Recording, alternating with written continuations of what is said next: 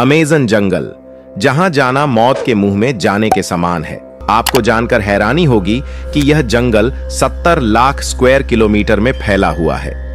इसकी विशालता का अंदाज़ा इसी बात से लगाया जा सकता है कि यह अकेला जंगल को हार्ट ऑफ़ द अर्थ भी कहा जाता है, क्योंकि धरती के कुल ऑक्सीजन का 20 प्रतिशत हिस्सा इसी जंगल से प्राप्त होता है। कि यह जंगल कुल नौ देशों की सीमाओं को छूता है। इस विशाल जंगल में पेड़ पौधों की सोलह हज़ार से अधिक प्रजातियाँ पाई जाती हैं, जबकि 25 लाख से अधिक कीड़ों की प्रजातियों का वास है, और अमेजन के जंगल में एनाकोंडा जैसे जहरीले सांप पिराना जैसे खतरनाक मछलियाँ और जानलेवा बीमारियाँ फैलाने वाली चमगादर भी इसी जंगल में पाई जाती हैं। रहस्यों से भरा अमेजन जंगल एक अबूझ पहेली की तरह है। इस जंगल की गिनती दुनिया के सबसे बड़े जंगलों में होती है। क्योंकि यह अरबों एकड़ में फैला हुआ है। यह जंगल इतना विशाल है कि यह अकेले ही नौ देशों की सीमाओं को छूता है। ऐसा भी कहा जाता है कि इस जंगल में ऐसे जीव, जंतु और अन्य चीज़ें मौजूद हैं। यही वजह है कि इस जंगल में ज़्यादा अंदर तक जाने के बारे में इंसान सोचता तक नहीं है। आपको बता दें कि इसी जंगल में एक ऐसी नदी मौजूद है जिसका पानी हमेशा उबलता रहता है। ऐसा कहा जाता है कि अगर इसके पानी में गलती से भी कोई गिर जाए तो उसकी मौत लगभग तय है। पेरू में मौजूद इस रहस्यमय नदी की खोज भूवैज्ञानिक आंद्रे रूजो ने साल 2011 में की थी। मयान्तु याकू नामक इस नदी की खोज की कहानी बड़ी ही दिलचस्प है जिसके बारे में आंद्रे रूजो ने बताया है। दरअसल बचपन से ही रूजो ने ऐसी काल्पनिक नदियों की कहानियाँ सुन रखी थीं, जो उन्हें आश्चर्य से भर देती थीं। लेकिन तब उन्हें इस बात का बिल्कुल भी एहसास नहीं था कि ऐसी नदी सच में होती है। आंद्रे रूसो के मुताबिक जब वो बड़े हुए तो भी उबलती हुई नदी की कहानी हमेशा उनके दिमाग में रही। वो अक्सर ऐसा सोचते कि क्या ऐसा संभव है।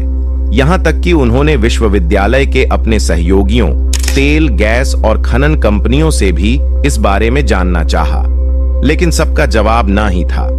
इसके अलावा अगर वैज्ञानिक तौर पर भी देखें तो ऐसा संभव ही नहीं है कि नदी का पानी हमेशा उबलता रहे, जब तक कि आसपास कोई सक्रिय ज्वालामुखी ना हो। इस असंभव स्थिति में एक दिन वो अमेजन के जंगलों में पहुँच गए, जहाँ उन्हें अपनी काल्पनिक कहानी सच होती हुई दिखी। उन्होंने आखिरकार ऐसी नदी को ढूंढ ही निकाला, जिसका पानी रहस्यमय तरीके से उबल रहा था।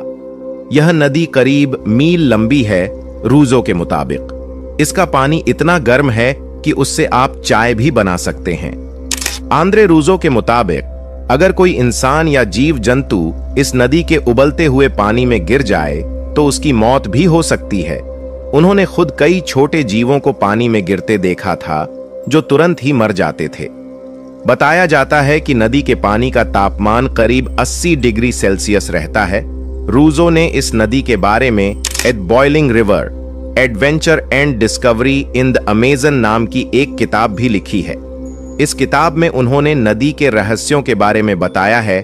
उनके मुताबिक, यह नदी प्रकृति का आश्चर्य है, जिसका पानी रहस्यमय तरीके से उबल रहा है।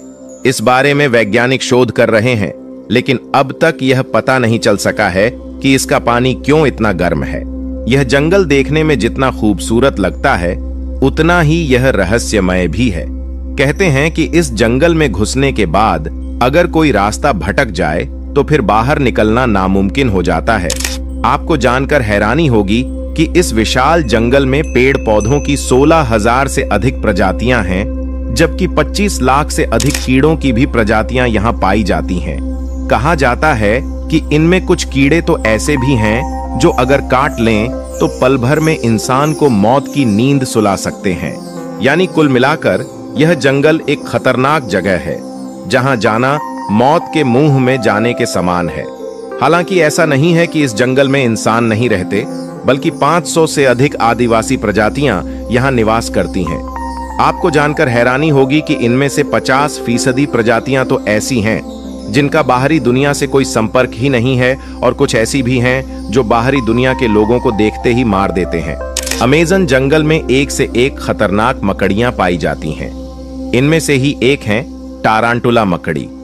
यह मकड़ी इतनी खतरनाक होती है कि अगर इंसानी आँखों में पड़ जाए तो उसे पल भर में फोड़ सकती है। अब हम अमेजन जंगल में कुछ ऐसे पेड़ के बारे में जानेंगे जिन्हें सुनकर आप दांतों तले उंगली दबाने को मजबूर हो जाएँगे। जी हाँ अमेजन जंगल में रहने वाले आदिवासियों के मुताबिक, अमेजन जंगल में कुछ ऐसे भी पेड़ मौजूद हैं, जो इंसानों और जानवरों का मांस भी खाते हैं। इन पेड़ों को आदमखोर पेड़ कहा जाता है। यह बात सुनने में आपको ज़रूर अजीब लगेगी कि आखिर कोई पेड़ मांस कैसे खा सकता है, लेकिन यह सच है। लेकिन अमेजन जंगल में इनकी कुछ ही प्रजातियाँ पाई जाती हैं। तब सोचने वाली बात यह है कि अमेजन जंगल में आदमखोर जैसे पेड़ हो सकते हैं तो फिर और कितनी खतरनाक खतरनाक चीज़ें इस जंगल में मौजूद हो सकती हैं। खैर, यह एक शोध का विषय है। साल 1541 में स्पेनिश खोजकर्ता फ्रांसिस्को डी ओरेलाना सोने के एक पौराणिक शहर की खोज के लिए निकले थे। जैसे ही वह अपनी नाव से रियो नैपो से नीचे की ओर गए तो पाया कि वहाँ एक बेहद घना जंगल है। जिसमें आदिवासी भी रहते हैं। साल 1542 में अटलांटिक के सफ़र से वह स्पेन लौट आए और उन निडर आदिवासियों की कहानियाँ सुनाने लगे। यूनानी पौराणिक कहानियों के आधार पर इस जगह का नाम एमजॉन रखा गया। आज की वीडियो में बस इतना ही। आशा करते हैं आपको आज की वीडियो में दी गई जानकारियाँ अच्छी लगी होगी। इसलिए इस वीडियो को लाइक करें, शेयर करें और हमारे चैनल को भी सब्सक्राइब करें।